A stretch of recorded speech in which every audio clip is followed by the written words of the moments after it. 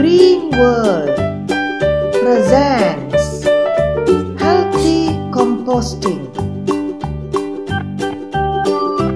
Compost is the foundation of good organic soil.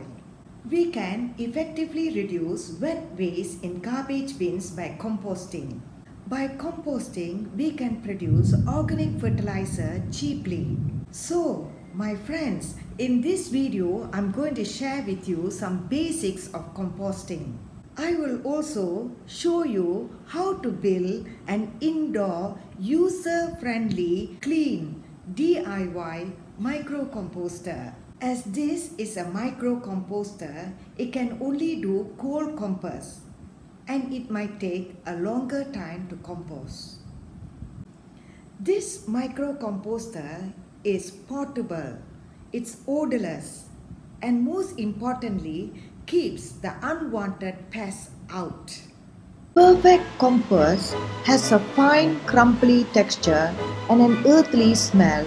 In the final compost, the original ingredients that made the compost will no longer be visible having transformed into a dark looking even consistency. Making our own compost, we know what went into the compost.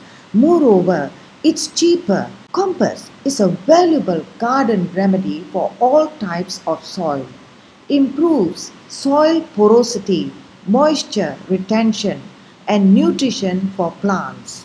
Composting can divert 30% of household waste from landfills. When organic matter hits the landfill, it lacks the air it needs for to decompose quickly.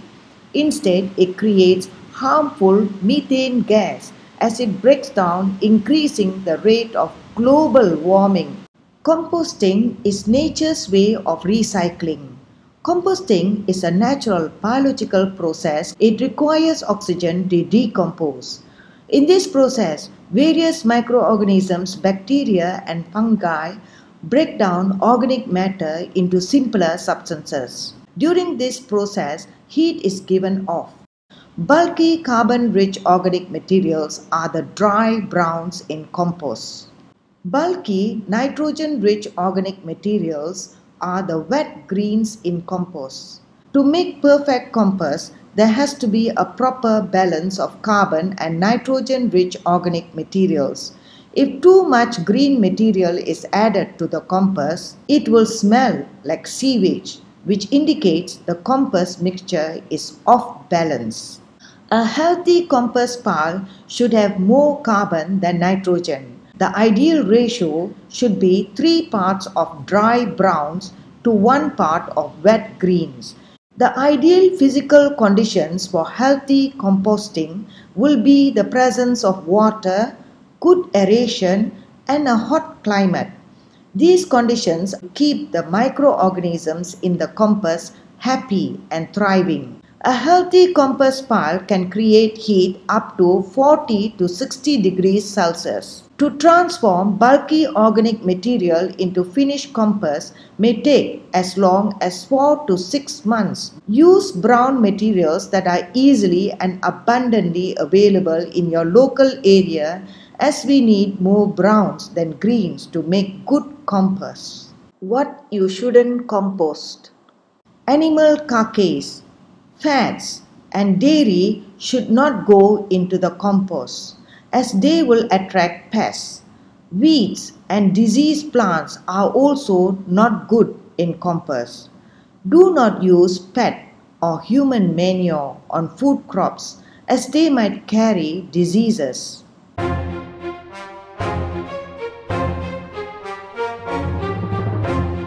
Two general methods of composting surface composting and pit composting. Surface composting is easier as it needs less labor to set up. Pit composting, on the other hand, is labor demanding. Surface composting is more expensive than pit composting as it requires a bin or a wooden enclosure to hold the compost materials.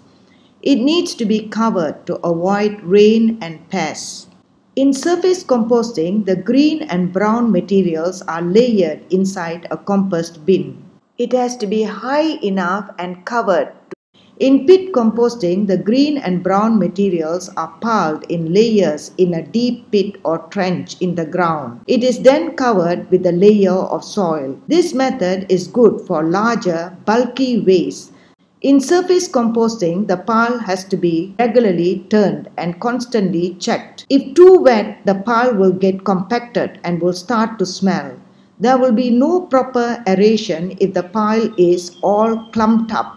Decomposition will slow down. If too dry, decay will also be slow. In pit composting, good quality compost is obtained in a shorter period of time. It is also easier to turn the materials inside the pit. Moreover, high temperature inside the pit will kill off any pathogens. There will be less bad odor from the composting materials. To speed up the composting process, the materials in the compost pile need to be layered, alternating with greens and browns. Setting up my micro composter. The micro composter has two main components a black 5 liter pail on the outside and a 3 liter waste paper basket on the inside. Made a 3 quarter inch hole at the base. This is to enable excess moisture to flow into the black pail. Reducer was fixed to waste paper basket. This enables excess moisture to flow freely and not get clogged up. PVC accessories for black pail.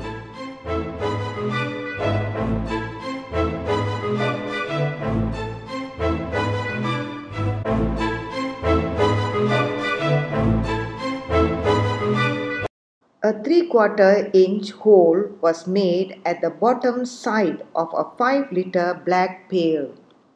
The outer black pail will trap the heat in the compost.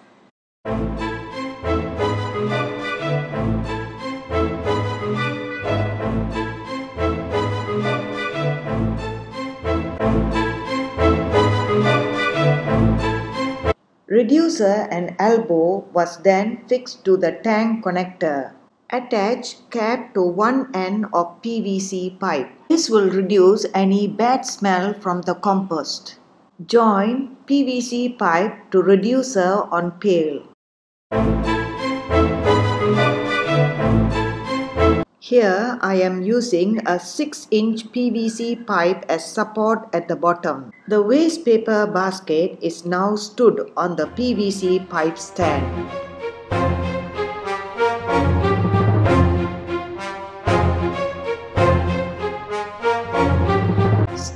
With the first layer of dry brown materials using newspaper and dried leaves. The next layer is wet greens which includes all kitchen and refrigerator waste. This is followed by a third layer of dry browns. This layering process of wet greens and dry browns is then repeated until the basket gets full. Sprinkle some water after the last layer of dry browns. As my browns were wet, I did not sprinkle any water. Seal the microcomposter tightly with newspaper. After three months, the wet greens and dry browns in the microcomposter will be transformed into garden gold.